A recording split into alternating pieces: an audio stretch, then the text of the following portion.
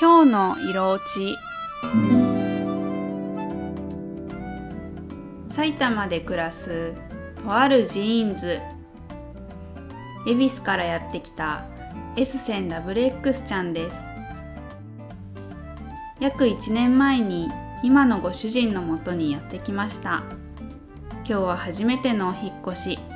どんなお家かな？荷物がたくさん。S 線 WX ちゃん。ご主人様のお手伝いをしないとね。まずは気に入らないシーリングライトを取り外そう。ぐーっと足を伸ばしていい感じ。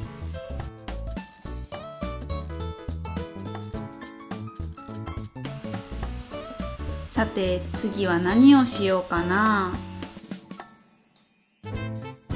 ご主人様と一緒に S 線 WX ちゃんも考えます。新居の息吹を全身で感じます。今しかできない贅沢な時間。S 線 WX ちゃんものびのび。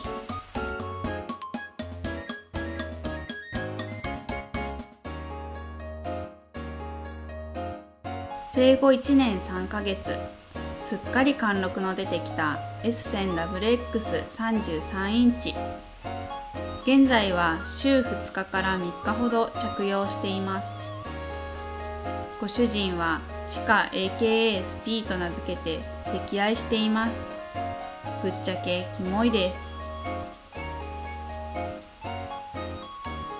そんなキモいご主人様のことが大好きなエッセンダブレックスちゃんなのでした。